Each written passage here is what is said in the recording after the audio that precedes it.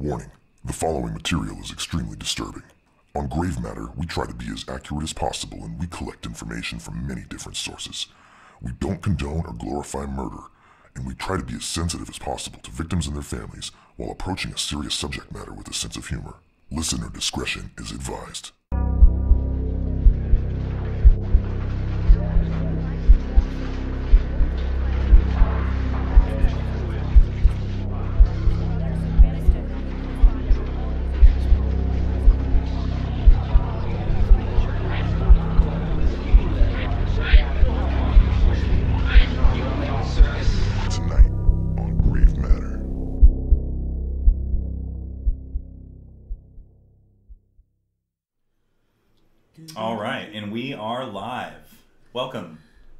Grave Matter, our maiden voyage, the maiden voyage first episode ever. ever. And I'm- Better quality to come eventually Yeah, if you're tuning in for the first time. This is your co-host Chris Lang as well as Jill Gentry on the other end of the other microphone.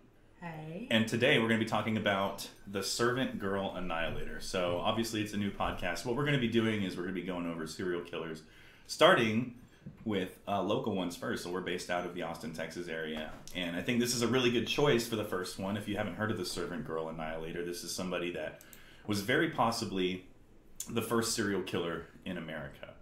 Uh, there's a lot, uh, possibly in the world. I don't know. There's there's a lot of hearsay about it, but it's a very interesting uh, story to tell. So we're gonna get cracking. This guy had how many total victims, Jill? He had eight killed and 16 total. These are good numbers. These are good numbers. This makes it an interesting. Uh, this makes it an interesting show. So Yeah, I mean, he was about he was about half successful, I guess. hey, it was half known successful. victims, so it's just known victims. Oh yeah. And by the way, I have some theories about that. So and by the way, that's Jimmy Woo. He is going to be our kind of a research uh, assistant in the background. had to happen. Sorry. So you're going to hear him a few times, um, as well as, as having him on the show once we can afford maybe a third microphone or something like that.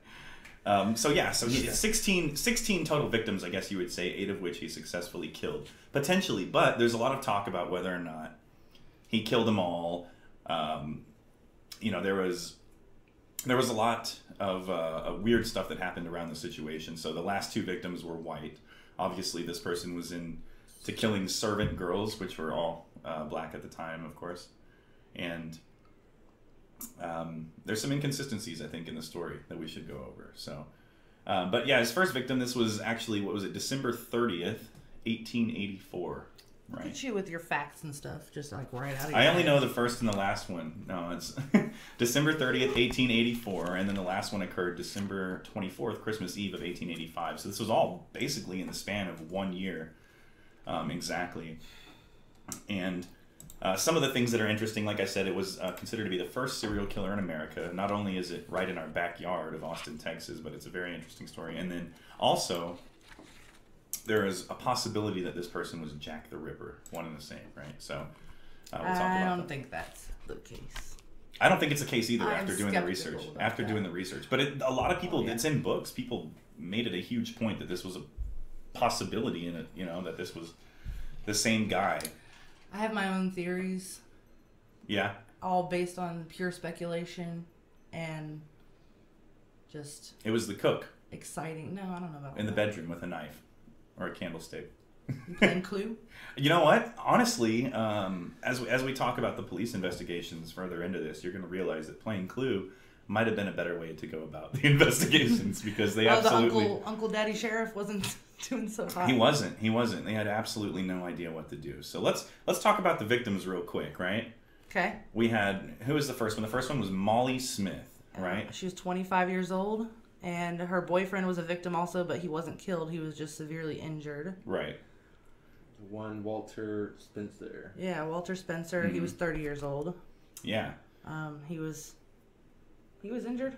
Yeah, he s- says Yeah. uh, He. Walter Spencer was seriously wounded. So that was the guy that that's showed up. boyfriend. What, was it boyfriend? Yeah, yeah, and that's the guy that showed up. So the way that this all unfolded, Austin had never seen anything like this before. They said that the worst that the police had seen were like high noon shootouts. This is the 1800s still. You know what I mean? Yeah.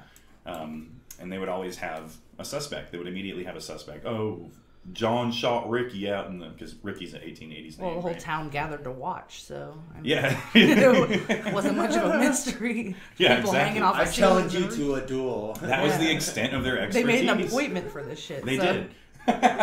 they really did. So that was the extent of their expertise. They didn't really have a lot of uh, murder investigations. So when when the first one happened, it completely shook the community. Um, the person that responded, the police officer, um, was like I think he was like just a regular. He was a regular guy. He wasn't a sergeant or a deputy. lieutenant. Yeah, he was. He was a brand new guy, and when you realize the extent of the police at the time, there was only twelve police officers in Austin, right? So it, nobody's really experienced, you know. Um, but this guy's like third in charge. He's never investigated a murder at all. Um, and he shows up to this gruesome scene of, a, of, of Molly Smith laying in a back alley with her head almost split in half. They said there was a reporter there because they had they had found him the next found her the next morning. There was a reporter there that said that the blood was so uh, it was there was so much blood underneath her that it looked like she was floating in it. So um, they had never really seen anything like that, and you know they were they had to call the sergeant over, and think people were vomiting, and I can imagine probably the worst crimes they had investigated up until that point was like somebody stole bread or a horse or they said there were there were a lot of so yes there there was uh, a lot of horse thieves in the area, but also there were stabbings because of card games. Oh, But yeah. once again, you know, it was Johnny shot Bobby or Johnny stabbed Bobby, and everybody knew exactly who it was. So it was a it was a big wake up call for the city of Austin. And uh, another thing I think we should talk about is a little bit of background into the city of Austin at the time. So I've I've seen different numbers, but the city only had a population of between I've seen the lowest I've seen is 12,000, 11 to 12,000, and the highest I've seen is 17,500. So let's just call it 15,000 people. Uh, if you know anything about the Austin area, this is all.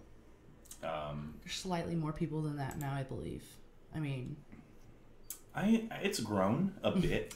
yeah, yeah, like a Seventeen thousand five hundred is now the rent charged in downtown Austin. So yeah. that's uh, kind of ridiculous. But it was such a small community that anything like this that would have happened would have, I mean, sent shockwaves through. You know, all six families that lived there, right, and all their Yeah, all their right. servants. We got a pile of the firewood in front of the door tonight. There's some shit going down. And, and that's another thing. All these people were, you know, he's, he's called the Austin Axe Murderer as well as a Servant Girl Annihilator, and he was uh, chopping people up with axes. And most of the time, the axes were belonged to the victims or to the families at least. This was, you know, the 1880s, and you had piles of wood in the backyard, and the murder weapon was always left at the scene because it was just the owner's murder weapon. I already, was- I already killed this guy. I can't steal his shit too. right? That's messed up at that point. Eh, especially if it's you know December and it's a cold winter. How are they going to chop the rest of the wood? I mean, honestly, leave it there for them at least. They need to. If they need to burn the body, you're going to need to. I'm just. I'm sorry.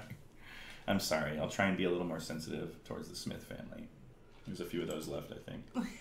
there was a common misconception that there were five months of peace that went by after the first killing. You know, uh, the first killing was so gruesome. Like I said, it completely shocked everybody. And they say, oh well, things started to calm down, and then there was another killing five months later. But people were servant girls were being attacked throughout those five months. People were being stabbed, beaten. Um, there were uh, stories of doors rattling, you know, to the servant quarters, and people were trying to get in. Even a couple times that they did get in. What blows my mind is nobody got a look at this person or these people ever. Well, I mean, they had their heads caved in if they did.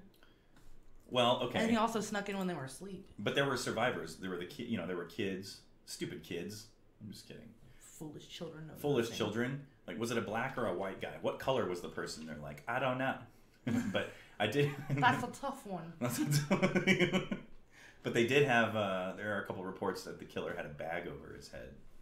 Oh, super. Yeah. So um, they said it was a big, brawny man. They weren't sure if it was a, a No black. wonder Austin was so about that bag ban. oh my god, doom. that's, that's absolutely terrible. Um, yeah, man, it was a it was a tough time back then. Austin. That would have been time- scary though. I Like, just accidentally went to someone's SoundCloud. Their username is the servant girl annihilator. Interesting. I guess we found him, guys. Right? He's, Yeah, he's a time traveler. right? He's a time traveler. He has a SoundCloud account. well, let's wrap this up. We got him. Absolutely. Anyways, it's been a great episode. We appreciate you guys joining us. And, Stamp uh, this bitch solved. This guy's trying to be a rapper. Doesn't surprise me. It does not surprise me. Can you imagine those lyrics though? oh my god. Caving in heads while they lay in the beds. Jesus. God. Ridiculous. So, the city of Austin. I want to talk about the city of Austin at this time, right? So, this, the, the time's 1884 to 1885. They're in the middle of building the Capitol, which leads us to something that Jill's probably going to talk about a little bit later. so excited. because she has her own theories So as to who did this, and it makes a lot of sense, right? And we'll talk about that in a little bit. But the city of Austin at the time was considered to be a shining beacon of hope, right? It was a cultural anomaly with the UT building. Old Main was was there. Now it's just a place I try to avoid at all costs. That's pretty much everyone except for tourists at this point and Californians, which we love. Moving on. So we had on March 19th, 1885, Clara Strand and Christine Martinson were severely wounded, but they survived. And then we fast forward to May 6th of 1885, and Eliza Shelley was killed. She was 30 years old. Do you have any details about that? Eliza Shelley. So the Eliza Shelley killing, not too much, other than that she was a cook for the Johnson family, I believe it was. Okay. All I have written here is mm-hmm. basic information: name, date they died. On so this map, if you have anything, it Oh. shows where she died, and Oh, it I drew. looks. I drew. Like I have a really cool map actually that I printed, and it shows it's a modern map over Google Maps, and it shows where they all were. well, u- it, using kind of looks like it. It was like out in the rural versus No. you know like more dense. That's like downtown, dude. Well, now it's downtown. Well, that's all there was, though. You know, but it's a very interesting map. Uh, let's let's look up. So where did we leave off? Okay, so going back to the victims here, we we've established the first one was on West Pecan Street, and that was 25 year old Molly Smith on December 30th of 1884. Our second victim was five months later in early May, uh, and that was Eliza Shelley, who was a cook for the Johnson family. Uh, both of which were black females, right? And then that leads us to our third victim, uh, which was only two weeks later. So after this five month gap, uh, there's another murder, and then only two weeks later is another one, and that was uh, uh, Irene Cross, and that was on May 23rd. she was the only one that was stabbed. The rest were killed with an axe. She was stabbed. Yeah, and you know, you know what's interesting about the Irene Cross um, murder is that it actually took her a long time to die. It took her about 48 hours to die, and she was almost scalped completely. So, um, as gruesome as that is, the police met with her while she was alive and tried to get information out of her as to who the assailant was, and she wasn't able to speak. So let's talk about our next victim. The next victim was Mary Ramey. Mary Ramey was um, really a wake up call for the city of Austin because at this point the people of Austin were scared. Three people have already been killed, right? Uh, several people have been injured. They're they're thinking that this is a related incident. Now the thing about Mary Ramey is she was only 11 years old, so at this point you've got a child killed, uh, raped, and I mean it was you know absolutely gruesome. And the people of Austin are flipping out at this point. They're thinking our leadership's no good. Uh, the police aren't going to do anything. There's only 12 people, and none of them know what they're doing. And at this point, the police, during the course of their investigation, had already hired uh, an external, a third party detective agency from Houston that came in and wound up being no good and actually kind of wound up being a fraud, uh, as well as them trying to hire the Pinkerton detectives out of Chicago, which were like, you know, nationally famous at this point. But they actually called the wrong Pinkertons and got like Josh Pinkerton detective agents, some random guy, you know what I mean, who came down and failed as well. So the people of Austin at this point are completely fed up with the leadership. They've got a dead 11 year old. And yeah, there's there's weird things going on. They know it's connected because people are um, when they're reporting on this, you know, it's going all over the country, and they're they're seeing that there's like sharp metal objects being inserted into their forehead or into their ears, and it's very strange, very similar. Did they Stuff. discuss what kind of sharp objects? Um, no, they they, like didn't. chisels so or they it was never reported as to exactly what was in their head, only by the medical examiner. So, um, which was not even a medical examiner at the time. It was like the dude down some guy with a pocket knife? wa- it literally was called the dead room of the hospital, and he was just like, "Oh, guess that happened."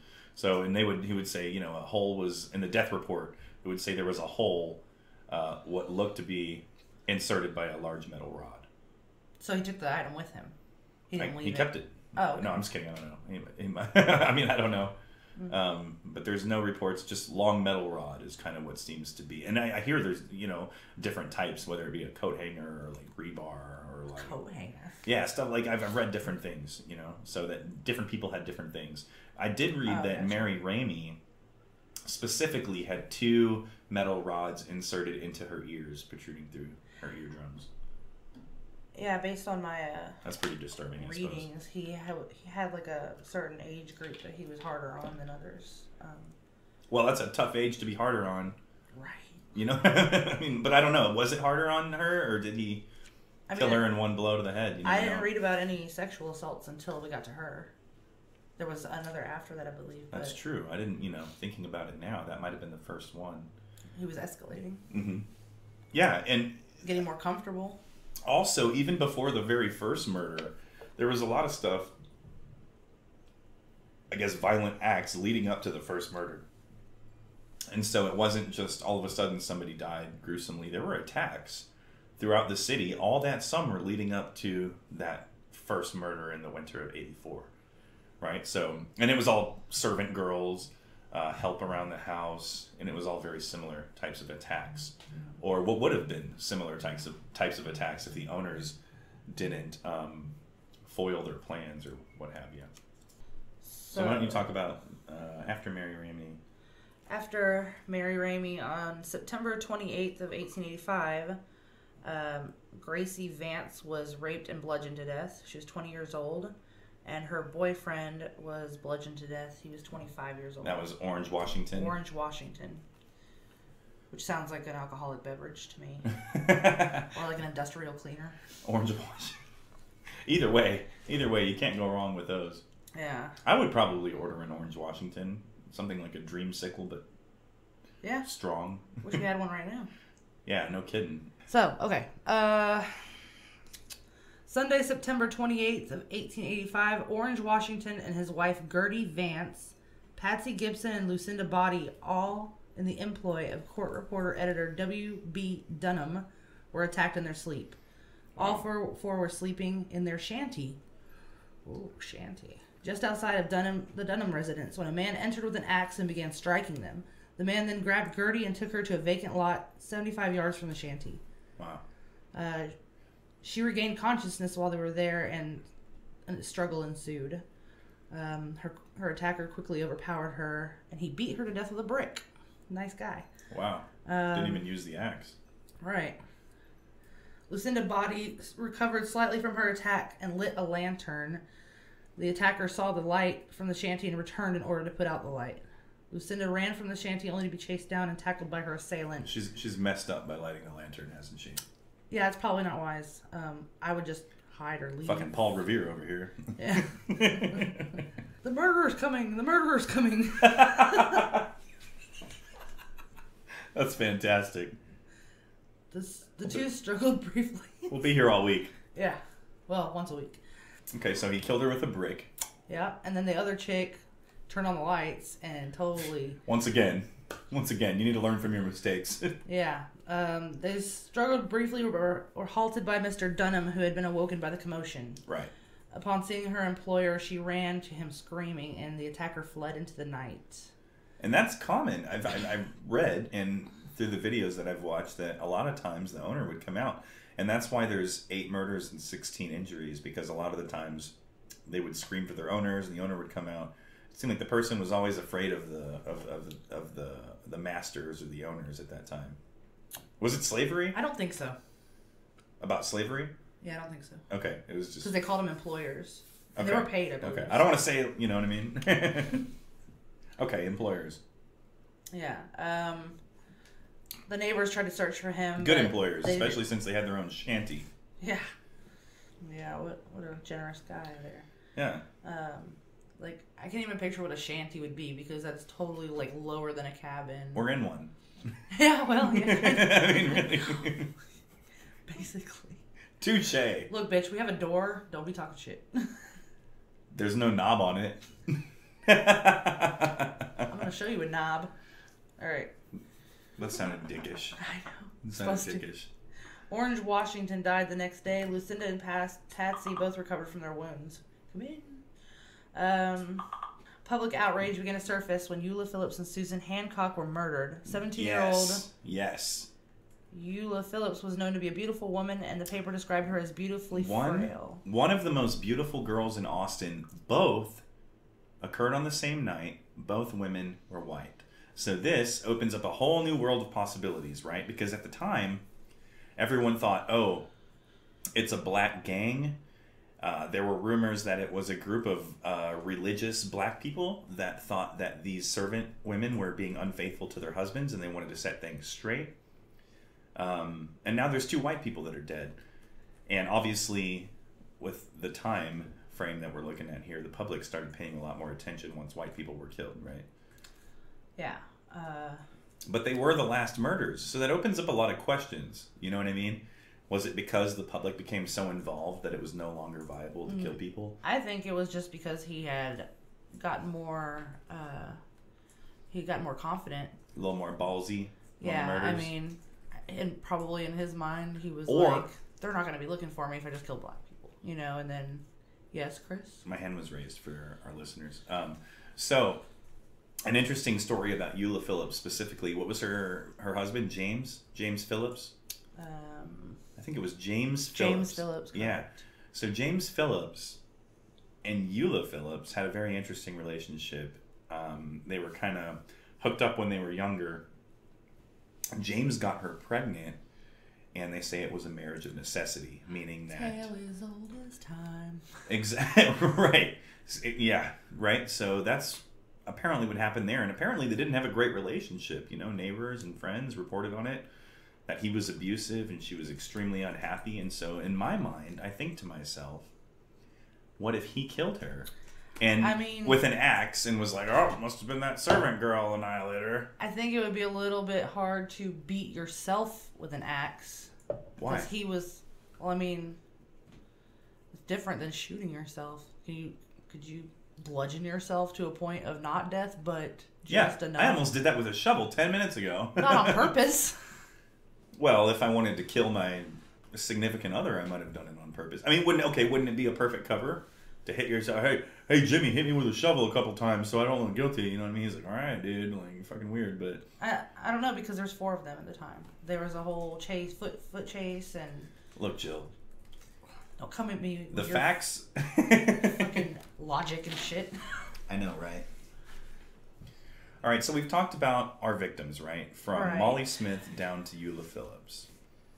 Let's talk a little bit about how the people of Austin and the police investigated this slash handled this because the people of the town were extremely involved at the time, right? There wasn't um, Well, they were certainly pissed off anyway. I'll say that. Yeah, they were definitely pissed off, and there wasn't exactly a professional police force at the time, right? So let's say we had fifteen thousand people in the city at the time. We had twelve cops. It was like, who's gonna handle this one? Jimmy, Donnie, or Bobby? You know, and the sergeant, who was the hardcore, the most experienced one, which I I haven't found any specific information about uh, the way that he looked, other than that he was a massive man that was extremely intimidating. So I'm picturing a guy that's like six six, like John Wayne type hardcore cowboy that everyone respected, right?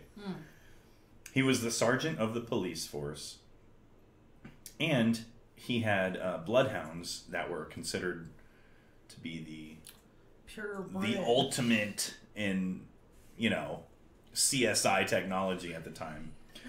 Um, however, we'll we'll we'll just say that his bloodhound and they never worked. They never picked up a trail. And there is a theory that the reason that the That dog don't hunt. Basically. well, either he was sold a bad bloodhound, or they said that the blood was so significant that it overwhelmed the dog. So, the the dog wasn't able to handle it. Try smacking it on the head like a TV. It works with frog. I want to talk about his. Um, I want to talk about the killer's physical attributes Right. and what they expected he looked like, and of course they assumed immediately he was uh, a black guy. And The possible suspects. so the there were some descriptions of him based on quote unquote eyewitness accounts that said they basically described described him as like John Coffey with a toe missing on his right foot. Right. So, and I've heard different things. I've heard that there is the John Coffey guy, just a massive black man that is running around killing people, always barefoot. Did you With get his that pants in your rolled up. Right. Yeah. Yeah. With either a missing toe or a club foot or both. Right. Yeah. I've heard all three. So I've, I've mostly seen missing toe. okay. They don't go into details about which toe though. I, I saw pinky toe. I couldn't believe it would be a big toe. That would throw off his balance and he would Right. not how could so he? good. How could anybody swing an axe with missing a big toe? I if you think could- about the physics of the situation. That goes into my whole theory about how he lost the toe. Yeah. No, and that's great. So, and we'll touch on that here in a minute, guys, because I honestly I think that Jill has a really good theory as to what actually happened because there's all this um, stuff about oops, the, the ceiling fell down. Just kidding. There's all this talk about Jack the Ripper and these, and I don't know if it's people trying to get YouTube views or what. I, there is something that kind of makes sense with Jack the Ripper, but from the eyewitness descriptions, I don't think it's possible at all. I think your theory makes way more sense than anything I've heard so far. Yeah, and I the re- there's a lot of reasons I don't think it was Jack the Ripper. Uh, one one of the reasons is Jack the Ripper's murders were done with precision. They were said they were to be done by a surgeon. Um, This guy sucked at murder, okay?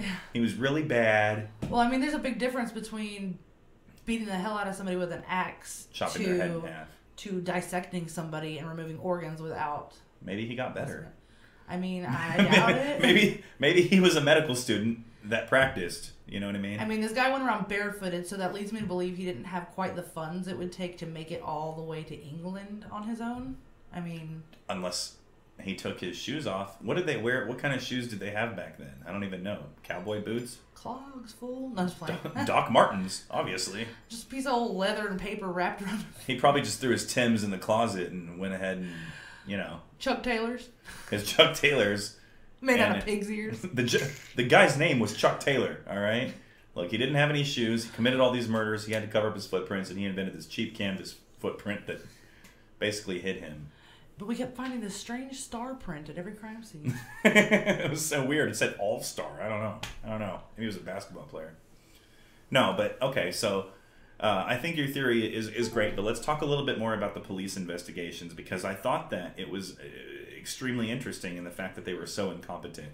And I don't mean to be rude, but as I was researching uh, this this case, um, right before this all took place, like I said, there were only 12 guys on the police force, and they had 13 prisoners in the jail that all escaped right before this all happened. yeah, it's highfalutin police work there. I mean, really, and you Sorry, know, we couldn't afford a rope for the door. I mean, really, what what goes? How do you? You had one job. That's the beginning of that joke. I mean, really, you had one job, and yeah, all 13 got away. Um, at the time, the police force thought that this was uh, gang violence or there were multiple assailants involved. Um, they rounded up hundreds, I believe, about 200 black people in the community and questioned them all very intensely using. Um, there was a very specific method, and it was basically waterboarding, what we call, you know, torture nowadays, but they called it uh, examinations. They called them examinations and they would whip people and threaten them with lynching and say we're going to lynch your family. I mean extremely tough stuff. And never once did these any of these suspects flinch or say that they did anything not one it was, absolutely it was not me. Um, now let's take a look at that right foot. yeah right you know what i mean and they did they did they actually had people compare footprints even down to the the white boyfriend or husband of Eula Phillips, James Phillips, they even had um, a footprint of his brought into the courtroom because he was arrested and I believe charged, but then later released. So uh, they did. They looked at all of that and they, they they were never able to find a specific suspect, right? So they brought in other bloodhounds because they didn't really know what they were doing. They brought in Pinkerton detectives, both the real ones and the fake one on accident. They brought in uh, detectives PIs from Houston. Uh, everybody failed, right? The public became absolutely outraged. They fired the city marshal H. Grooms Lee and replaced him with James Lucy, who was a former Texas Ranger. So everyone was extremely uncomfortable. They basically were like, if if we don't have Chuck Norris, we're completely out of luck here. So they hired Chuck Norris, who also failed. Um, and then they started kind of speculating because ultimately it ended before they got anywhere, right? Um, at the time, by the way, I, I want this to be understood. The Pinkerton detectives of Chicago were nationally renowned, and they were basically um, kind of like a, like almost like a like a Blackwater or some type of. There was nobody better. This was the Navy SEALs of the time. So like know? an elite group. an elite yeah absolutely an elite group of sas navy seals by the way i'm a former marine so i make a lot of military references but they uh I am not, so I will not. Carry on. what i see what you did there anyways that's jill and her comedy so um, the police were absolutely lost uh, everybody failed but let's talk about some of the possible suspects that they considered one of them uh, and this is one of the strongest suspects, I believe, was Nathan Elgin, right? Or Elgin, like the city that's right near Austin. There's an Elgin in Illinois, I believe. Elgin. Yeah, it's fan. Okay, so Not relevant, but still interesting. yo, Abraham, that guy was a governor of Louisiana. I swear to God, Uh, we'll cut that out. No, I'm just kidding. All right, so let's talk about Nathan Elgin, who is one of the suspects. I believe was. Um, I want to say the closest to being correct. I think your theory is probably more on point than anything I've ever heard. But let's talk about Nathan for a second. So, this guy was a large black man. He was only 19 years old. Um, he had a club foot and a missing toe. Um, he was killed while assaulting somebody, Oh shit, yeah.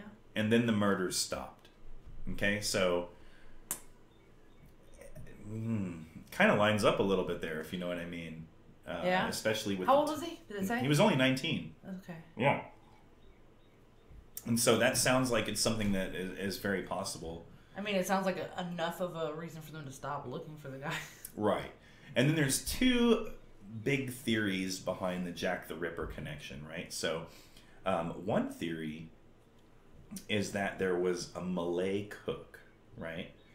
Um, he, his name was Maurice, or at least that's what he called himself, and he worked at a small hotel in Austin in 1885.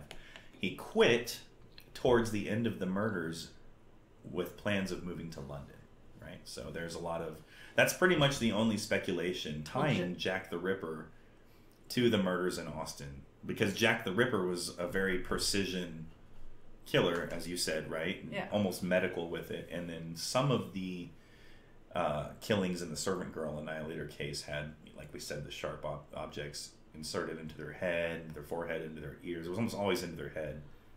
So that's kind of the connection between the medical precision of Jack the Ripper and the killer here. Uh, Jack- However, those killings happened three years after. The three years later, 1888. hmm exactly. So th- that's one theory. Another theory is that there was a gentleman, and this is a Jack the Ripper theory, that there was a gentleman by the name of James Maybrick who could have been Jack the Ripper. And Jack the Ripper, um, as James Maybrick, I should say, was introduced as a well to do white male, handlebar mustache, top hat, kind of portly, if you can get the idea. there. Guilty mustache always. Got him. H. H. Holmes, motherfucker. well, which we will all also talk about H. H. Holmes and his Chicago hotel of killing treachery, which was very clever, Horrors. architecturally kind of incredible. But anyways, um, so yeah, so James Maybrick was very possibly Jack the Ripper, and worked at a very prominent business facility. Uh, in London, and apparently traveled to Austin several times during the killings uh, for Guilty, mustache or not. must because he has the handlebar mustache and a top hat. All he needs is a fucking monocle. It's game over. Cape. He owns everything. I don't know. I can't even get fucking Baltic Avenue.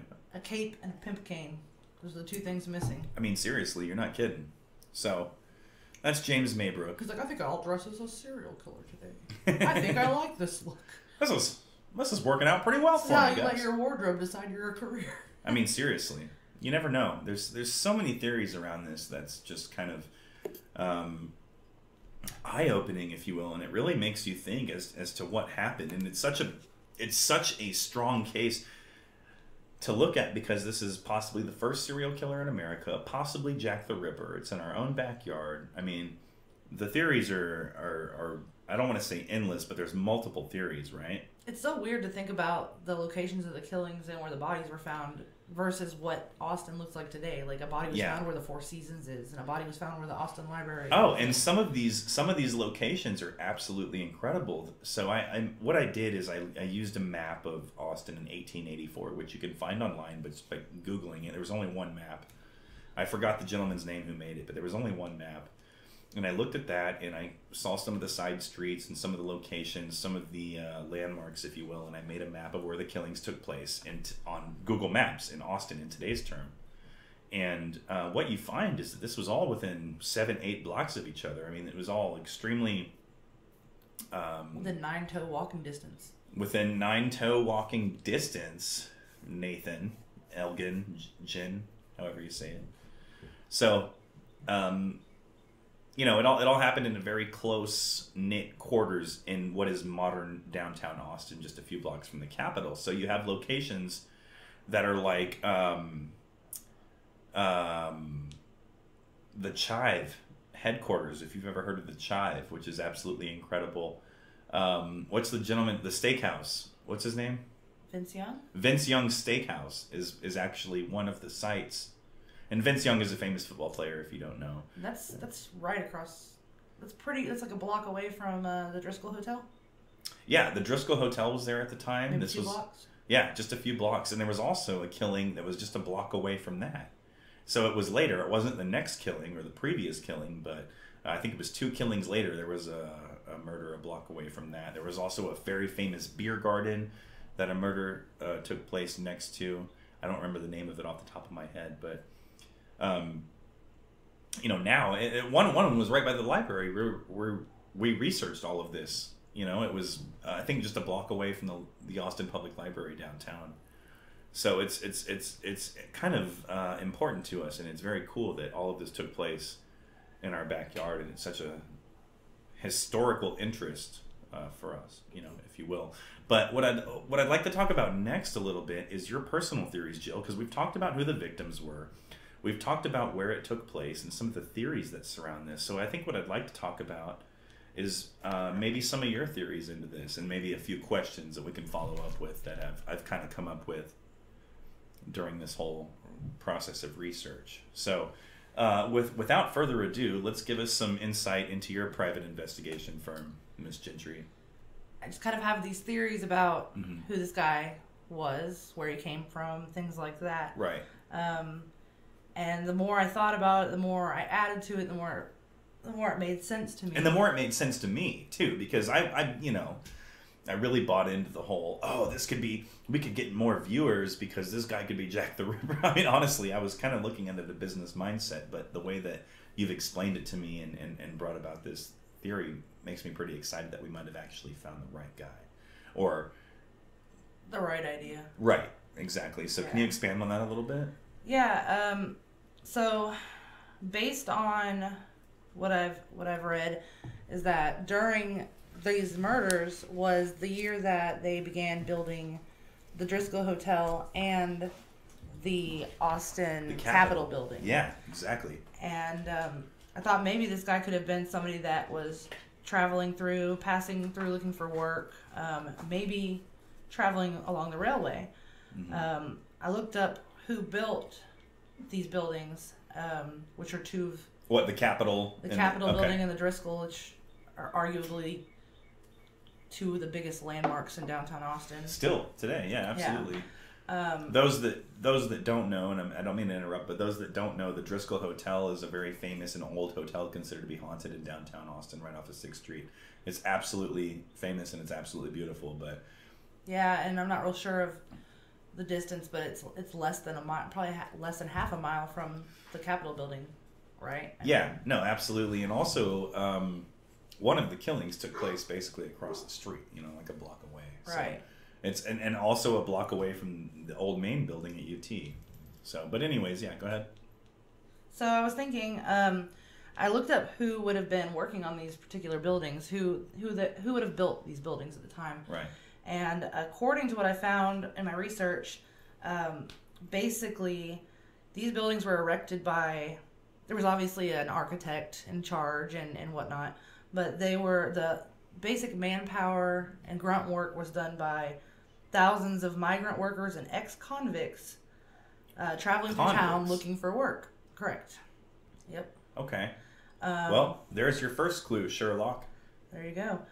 Um, and so I started thinking about what would have been involved in the erection of these buildings, and so I started looking into uh, the rail the railroad, and throughout the the building, the building of the Driskill and the Capitol building, um, they were working on the railroads also. Mhm. Um, and at some point, Yeah. towards the end of the carpentry work, which I figure most of the uh, carpentry work, woodwork would have been done in the beginning of the projects. I mean, they started bringing Right. in marble Yeah. from Granite Shoals, Marble Falls on the railroad. Cedar Park, and they had the red granite, which is iconic of the capital. Cedar Park is kind of close to where we live, to our uh, new listeners out there, which is really about you know 30 minutes northwest Austin, which is kind of where we're based out of. So I've seen this stuff, and I've seen the railroad, and I've seen the plaques that are out there talking about the commemoration of, of building the Capitol, and I think it's it makes so much sense that this could is a possibility, right? Right. So, a migrant worker, ex-convict. Yeah, and then I started looking into um, what a common carpentry tool kit would be um, for that time. Right. and it's basically consists of like a hacksaw, um, a couple chisels, and Any axes? about five or six different kinds of hand axes. No kidding. Um, so there might have been dozens of men walking around town just carrying bags of axes. Um, Okay, but let me ask you this. Most of the axes that were used, were taken from the families that were right. Yeah, right. But You wouldn't want to use your own axe. I mean, you got to use that for work. right, But Well- certainly somebody who knew how to use one. correct. But maybe not so well, considering he was missing a toe on his right foot. is practicing. Dun dun dun. Like Dun that. dun dun. I mean, I'm sure people were missing all kinds of body parts back then, but I just, I just picture a Seriously. guy swinging an axe and being like, "Oh shit, my paper fucking shoe didn't hold up so well." Right, You know, yeah. like uh, No, absolutely. they didn't have steel toe boots back then. Um, and I yeah, figured, they you used, know, to, they used to use wooden shoes. Clogs. They did have fucking clogs, apparently. That's amazing. Jill was like, yeah, they just had fucking clogs. I want to see their tap dancing recital at the end of their projects, their construction projects. You never know. You never know. And they might have. Yeah. They're very celebratory back then. Well, I started thinking if they're doing the if they're doing the woodwork and carpentry type shit at the beginning of, of these, you know, the framework and, and staircases, whatever, you know, Right. um, that might line up with the killings. You know, once work dried up, he didn't have a reason to stick around. He got back on the train and took off. You know, Yeah. You know what's funny about that is there was, um, and I don't remember the exact victim, but I think it was one of the last ones, one of the survivors of the last one stated that, um, oh no, you know what it was? It was the lady that was killed with her two children. Eliza Shelley, possibly? I think it was Eliza Shelley was killed and her two children were spared. And the two children said that. Um, the killer one of the children had said that the killer had spoke to them and said that they were uh, boarding a train to st louis the next day so that is you know kind of lines up with the railroad theory but at the same time i guess he hung around for a few more months and why would he tell a child where he's actually going unless this person is actually insane which kind of fits the description right? based on the uh, eight murders I figure maybe he could have um, after that point when the murder stopped, he could have mer- moved on to a, a rural area where okay you know Austin wouldn't be keeping up with what's going on in Elgin or you know what would be Bastrop, interesting you know. and this goes out to our listeners too and as as i know we don't have a lot right now and as we gain listeners this might be something that you guys can touch on but if, if anybody has any information on any killings that are similar to this with sharp instruments being inserted into people's ears or their head or things like that it'd be interesting to know about say oh kansas city 1886 this happened you know we'd be like oh man. I've got a couple of those. maybe make some connections yeah Yeah, um, if he didn't move on to another community, uh, he could have died or been arrested for another, you know, another crime in another city Especially if it was. Nathan Elgin. Right, exactly. Um, I just figure, you know, if he would have been in the prime age of doing this hard labor work, he probably would have been somewhere between 22 years old and maybe 35 years old, something like Right. that. hmm Um, police precincts didn't really communicate with each other like they do now. No, so, not at all. So he could have moved. not. He could have moved 60 miles away, and There was nobody would've had a absolutely zero communication between cities. I mean, other than the news reports, right? So you had the New York Times reported on this.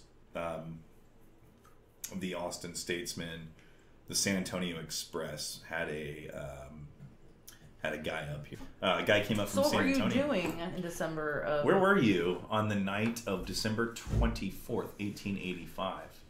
Oh, I wasn't born, man. My dad's ball sack. Like that's Your dad wasn't born yet. Your dad's This dad. is a. Oh, wait, oh, yeah, okay. This is a like a likely a That's like a minute story. ago, dude. Compared to this, He was in his dad's ball sack. Okay. That'll do it. This is turning into Howard Stern real fast. I was fast. gonna say, God, how I love talking about genitalia. So, what really blew my freaking mind hole was I was thinking, you know, I was I was wondering if I could find other reports about other unsolved axe murders along the railroad. Right. No, that makes total sense. Yeah. The, what is it? The Southern Pacific Railroad goes all across the bottom of the country. Well, yeah, that's tough to. I didn't look into the routes that the trains took from Austin. I know they went up north. Well, all I can tell you is that there are several hundred unsolved axe murders during that time along the railroads. Really. Yes. Okay. So real quick, let me ask you about the timeline that this took place. Where where did as far as the railroad murders, is it possible that the same person committed all 100 of these uh, within the time frame that we're talking about? Well, there are several unsolved axe murders along the railroads, even all the way up north. Um, some of them are a long shot. Some of them probably aren't the same guy, obviously. And there are Right. There are a few famous, really famous ones, like the Villisca house murders, Yeah. the Villisca axe murders. The Villisca axe murders. Right? Um, the mulatto murders, which I don't think that's involved. It just seems too specific to me Hmm. uh, because they were basically whoever this was was killing mixed race families, um, right. Especially and- because of Molly Smith being so light skinned. and entire families at that, hmm five six people at a time. Um, but basically, That's the only connection. Right. yeah, the timeline that I looked into was 1885 to uh, 1919. Okay. Um, and what really got me kind of excited and, and thinking about this and just you know speculating and and all that was that um, the Axeman of New Orleans was active from May of 1918 to October of 1919. Hmm. I couldn't find any information on any suspect they may have had, but anytime I've ever seen him portrayed in movies or TV, you know, TV shows, things like that, he's always like they always describe him as a distinguished older gentleman. It might have had something to do with the fact that he was so into jazz music or, or whatever. hmm Um, but the people that they've gotten to play this part have always been older men, 58 years old to 66 years old, Mhm. somewhere in that area. Um, now, if our guy was in prime hard labor condition when he was working in Austin in 1885, and then he was also this this guy that was responsible for these murders, he would have been around that age when those murders take place. Where did took they take place at? uh, New Orleans, Louisiana. Hmm. Um, it was there was some similarities to the the, the modus operandi, Yeah. operandi, hmm whatever the mo. The mo, the mo. Yeah. Um, I think yeah, I think me and Jill were talking about this. How like maybe you know the servant girl killers were just like the beginning of his like early stages of him like fine tuning his mo and getting more into Like it. like maybe maybe the first one in Austin was actually his first murder. Maybe he was started Right. sloppy and got more. I mean, he could have started in New Mexico for all we know when he was 19 years old or Yeah. 22 years old. But I mean, what really got me thinking about this was there could have been so many things. He could have been responsible for a lots in between that. You know, there was two or three here, two or three there throughout the country. or failed attempts. Right, or failed attempts. A lot of these people were beaten. He only had or stabbings. He stabbed one victim in Austin. So Right. Yeah, and you know, if you think about stabbings and an axe, it's kind of similar. yeah, You're, um, you're chopping people up either way, whether you're Chef Ramsay or a woodsman. You know. Right. I guess let me add. There could be a possibility where that that like stabbing is just one off. yeah. Yeah. Well, so or that it intensified. You know. there could have been if you could have been active all those years or what really got me started to think about it was um, when they caught the golden state killer last year Mhm. um, Okay. Yeah, the old guy. right Yeah. because he he was active in his early 20s late 20s and then i believe his late 20s as soon as his kids were born he stopped he ceased all crime Hmm. he um, after his kids grew up he was too old to go back to what he was doing you know breaking Yeah. into houses and killing people um, but he was slowly His edging his up. way back into like petty crimes and like um, even as old as he was he was Mhm. still doing things like trying to intimidate women children um, spying peeping tom type activity um, I just think of so many funny like Saturday Night Live skits that could come out of that. Just like an old man falls out of a tree, peeping tom. Fuck! And just like stuck on the ground. You know what I mean? but i was just thinking like if this guy's hits his fucking life alert bracelet. you know what I mean? if this guy started out in Austin and then say he was in his early 20s, Okay. he moved on to the next place, killed another couple people, and then he met somebody and he got married and he had children, and then after his children moved on to their own Continued. lives, he moved on to Louisiana and started, you know, or, Yeah. you know, because I think that that whatever's inside of that killer, and this is, you know, maybe something we'll dive into in future episodes, is more of the psychology of how these people operate. But I, fe- I feel like that's not something you're ever gonna get rid of. You know what I mean? Have you ever seen Mr. Brooks? What a cool, Yeah, yeah. What a cool movie, right? yeah, it Like, is. Uh, there's a lot, a lot of different psychology stuff that, you Mhm. know, nature versus nurture, um, Yeah. childhood experiences, head injuries in, in Right. people, you know, uh, What? That's the next section. And there's all different kinds of you what know. caused this person to be like that? What would cause somebody to be America's first serial killer? I mean, it could be anything mental, emotional abuse, um, or illnesses, or Especially with such a, you know, Wait, let me psychopathy, stop or right there. It, it, he's this guy's America's first serial killer. potentially, yeah, Really? yeah. What was the first one like in history? No, I don't know. Jack the Ripper? Or I guess No, this was Jack the Ripper was three years after this guy. Oh wow! So And this guy possibly had the three same. years over Jack the Ripper. Yeah, so this was 1884 to 1885. Jack the Ripper took place in 1888, and it's very possible that it was the same person. Dude, we got. I mean, that would be cool. We can find some like older serial killers later. Yeah, on. and maybe that's and and maybe that's something that we can look into is is you know seeing who and maybe my research guy can jump on it, seeing who would be um, some of the first serial killers reported, and it's not that murders didn't take place before this. It's just that there were no. H. H. Holmes, 1861 to 1896. Okay. So Okay. So America's first serial killers out the window. Yeah, I mean, people have been killing people since people have existed. So, America's first serial killer. Probably It's- nobody even knows who he is. Yeah, but it's it's always promoted like that when you when I looked at you know um, uh, books written or articles written, it always seemed like it was oh America's first serial killer, terror in the capital city, or you know something. I don't know. Maybe they're just trying to sell stuff. I don't know. Maybe, maybe it's just you know. Ultimately, I mean, I think you know to because we're nearing the end of the episode here, just kind of to wrap everything up and. Uh, we'll do like a quick uh, exit overview of the whole situation. I mean, obviously we've debunked that. I guess H. H. Holmes uh, uh, is, is winner winner chicken dinner on that one. So um, uh, this this guy, uh, whoever he was, uh, you know, ultimately killed eight people in a short time period, only one year. You know, a lot of these people are you're going to see have 13 years before they're even caught, stuff like that. It was only one year, almost exactly one year. Um, so. Um, 16 people were injured. He killed eight of them, and he was basically never found. There's tons of crazy theories that surround this uh, story. I would encourage you guys to go out and, and Google some stuff and look it up. And um, ultimately, we appreciate you guys uh, sitting through and listening. Like, uh, our, our show's going to be more fact oriented and uh, kind of go through some of the more gruesome details of what actually happened and a little BS sprinkled in on top of it. So, we're gonna work. We're gonna work on the uh, fine tuning of things. And yeah, yeah, absolutely. Better quality to come for sure. This this is definitely going to be the roughest episode. So please uh, hang in there with us, and um, we appreciate you guys so much. Please check us out on social media. Uh, we're on Facebook at the Grave Matter Podcast as well as Instagram at the same thing. Um, uh, we're getting a Twitter soon, uh, so if people want to reach out to us or whatever, we can uh, we can we can chat, as well as uh, working on a website and getting our RSS feed up, so you guys can download us uh, on Apple and Google, and we should have it up in a, in a few other places as well. Um, and we'll keep you updated on that. But we appreciate it very much, and we'll see you next week.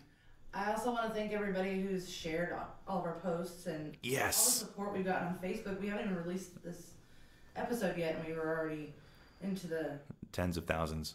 yeah people Yeah. just checking out the page. So I mean that's huge. Yeah, not likes, not likes. I'm not lying. But uh, we just started like two weeks ago, but we've already reached 15, 16,000 people, and it's really cool to uh, see that people are interested in this. Thanks a lot, guys. We appreciate it. Appreciate it. See you next week, guys.